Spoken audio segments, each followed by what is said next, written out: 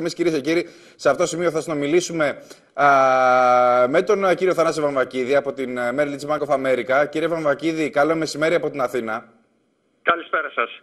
Λοιπόν, να δούμε λίγο ε, της, την, τη δική σας εκτίμηση για τις προοπτικές και τις εξελίξεις γύρω από την ελληνική οικονομία ε, με την ε, δική σας εμπειρία, διότι είδαμε χθες και μία ανάλυση της τράπεζας, της Bank of America Merrill Lynch, που λέει ότι έχει μάλλον ο τίτλο «Επιτέλους λιακάδα στην Ελλάδα».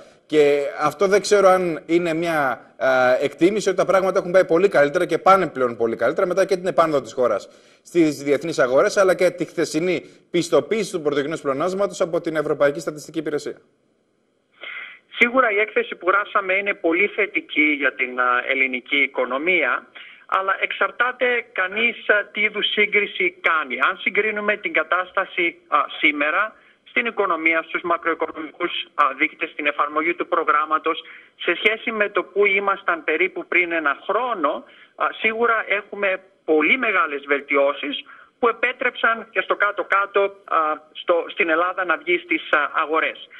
Στην έκθεση μας όμως επισημάνουμε ότι υπάρχουν ακόμα πολλά πράγματα που πρέπει να γίνουν στα πλαίσια του προγράμματος και των μεταρρυθμίσεων και γι' αυτό αυτό που λέμε είναι ότι το ποτήρι είναι ε, μισό γεμάτο ενώ πριν δύο χρόνια ήταν άδειο και έτοιμο να σπάσει. Πάντως, ε, διαβάζοντας την, την ανάλυση της τράπεζας, ε, αναφέρεται ότι μπορεί κάποιε μακρο, κάποιες μακροοικονομικές προοπτικές να έχουν βελτιωθεί, ωστόσο παραμένουν αρκετοί κίνδυνοι γύρω από την ελληνική οικονομία. Ε, μπορείτε να μας εξηγήσετε ποιοι είναι αυτοί λοιπόν οι κίνδυνοι που απειλούν ακόμα την, την οικονομία της χώρας μας; Σίγουρα ένας από τους βασικούς λόγους που ε, τα μακροοικονομικά μεγέθη έχουν σταθεροποιηθεί και τα yields έχουν πέσει για την Ελλάδα και επέτρεψαν και το ομόλογο είναι η πολιτική σταθερότητα. Ε, αυτό είναι απαραίτητη συνθήκη για να συνεχίσουν οι βελτιώσεις στην οικονομία. Και γι' αυτό ένα από, το, από τα ρίσκα που επισημαίνουμε στην έκθεσή μας είναι τι θα επακολουθήσει μετά τις ευρωεκλογές και τις προεδρικές εκλογές. Το δεύτερο έχει να κάνει με την δυνατότητα της οικονομίας να πετύχει πιο γρήγορους ρυθμούς ανάπτυξης σύμφωνα με τις προβλέψεις που έχει το ίδιο το πρόγραμμα, δηλαδή να φτάσει σε μακροχρόνιους πραγματικούς ρυθμούς 3%. Η ανάλυση μας είναι ότι με βάση τις μεταρρυθμίσεις που έχουν γίνει μέχρι στιγμής, η οικονομία μακροχρόνια μπορεί να αναπτυχθεί σε ρυθμούς μεταξύ 1,5 του 2%.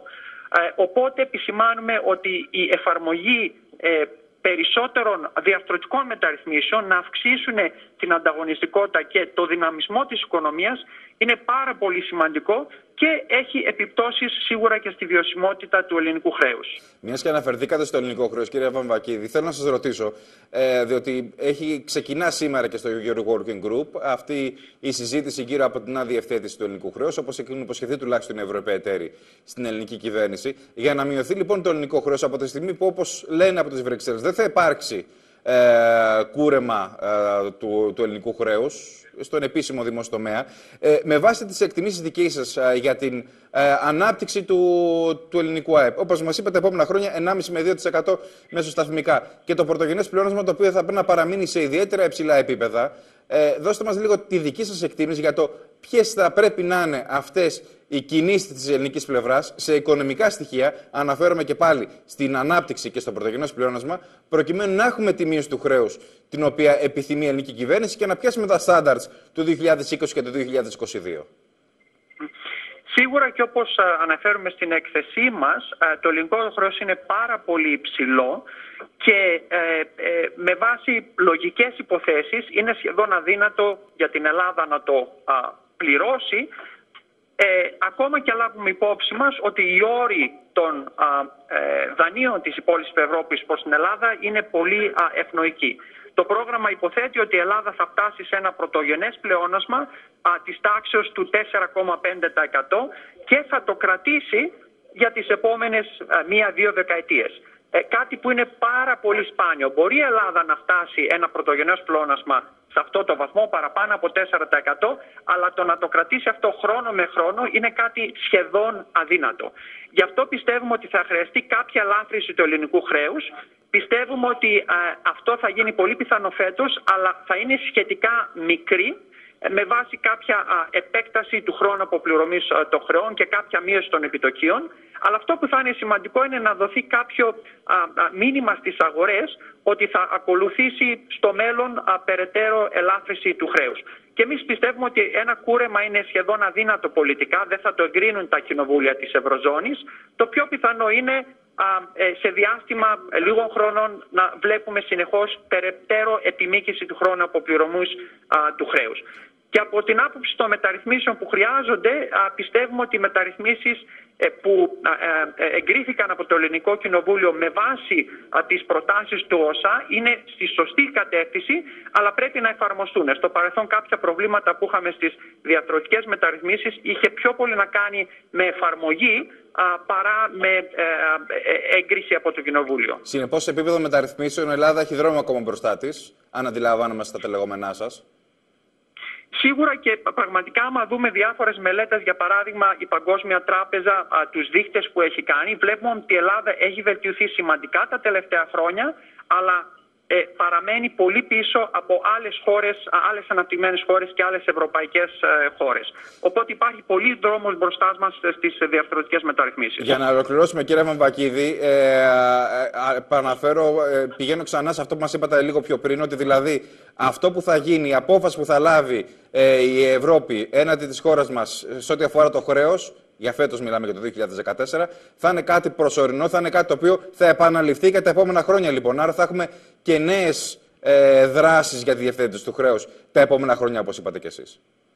Έτσι πιστεύουμε. Πιστεύουμε το ελάχιστο ε, που απαιτεί το Διεθνές Νομισματικό Ταμείο, γιατί το δούνε του είναι που πιέζει προς αυτή την κατεύθυνση, είναι να, μία κάποια ελάφρυση ώστε να μειώσει το χρέος σαν ποσοστό του ΑΕΠ τις προβλέψεις του στο 124% μέχρι το 2020 που ήταν η πρόβλεψη του Ταμείου όταν το καινούριο πρόγραμμα εγκρίθηκε τον Νοέμβριο του 2012. Μετά το 2020, πάντα με βάση την έκθεση του Δουνουτού, θα χρειαστεί περαιτέρω ελάφρυνση για να μειωθεί το χρέος κάτω από το 110% του ΑΕΠ μέχρι το 2022. Μάλιστα. Και κάτι τελευταίο, κύριε Βαμβακίδη. Δεν ξέρω αν η έκδοση του ελληνικού ομολόγου πριν από δύο εβδομάδες, η επάνωδο χώρας λοιπόν στις διεθνείς αγορές, ε, θα είναι ε, ένα αρνητικό ή ένα θετικό χαρτί στα χέρια της Ελλάδος ό,τι αφορά τη συζήτηση για τη διευθέτηση του ελληνικού χρέους.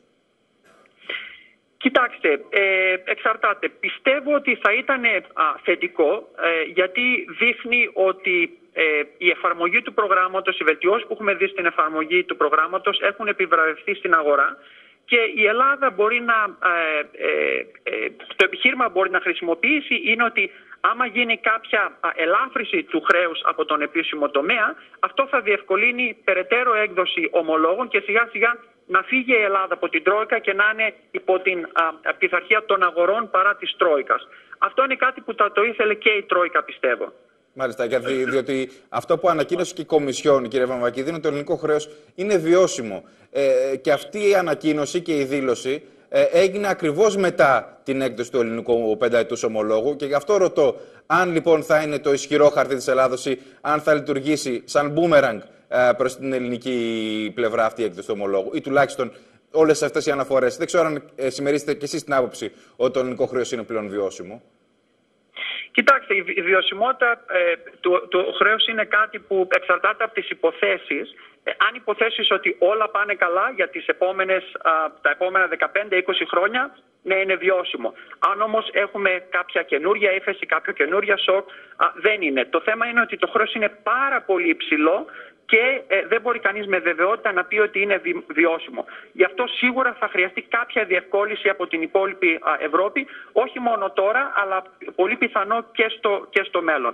Όσον αφορά το ομόλογο, πιστεύω ότι υπήρχε η έγκριση, η έγκριση της Τρόικα για να βγει αγορά, η Ελλάδα στις αγορές. Πιστεύω ότι πρέπει να είναι ευχαριστημένοι που το όλο επιχείρημα πέτυχε, οπότε από αυτό την άποψη δεν νομίζω ότι είναι κάτι αρνητικό.